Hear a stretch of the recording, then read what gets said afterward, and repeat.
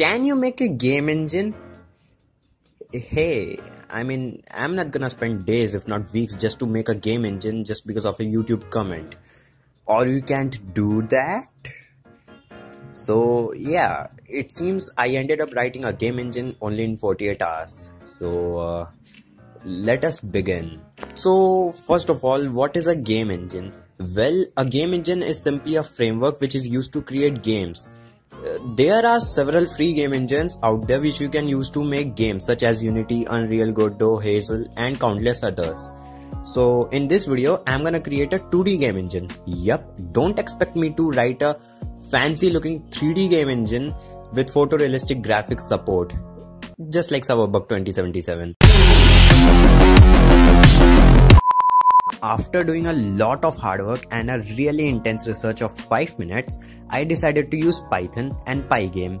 The reason I'm using Python is because it will be easy for me to prototype a very simple engine that can make maybe some sorts of games. Uh, yeah. So I started by cracking open my IDE, slapping down a quick hello world program in Python and everything seemed to work perfectly.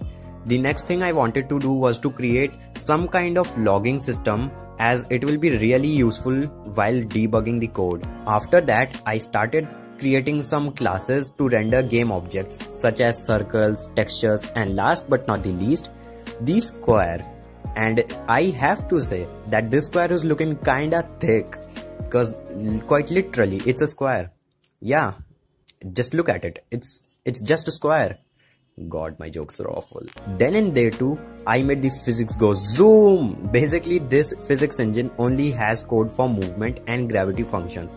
Nothing too exciting about it. And uh, yeah, done. I created my very own game engine kinda thingy to make games. At the end though, I created a game loop, drew my sick looking square, um, let's call it Billy. So I rendered Billy and gave it some life by giving it movement code and some physics. And yup, you know, this was quite a fun challenge. Do comment your thoughts on this whether I should continue developing this engine or not. And you can also suggest me some of your ideas on which you want me to make videos. So this was the whole process on how I made my own game engine in 48 hours. Uh, I have my exams going around so I won't be able to upload for at least a month maybe so I'm sorry for that. But yup, leave a like if you enjoyed and uh, leave a dislike if you don't. Hit that subscribe button for more videos like this and uh, I'll see you in, I'll see you in my next video. Thanks for watching.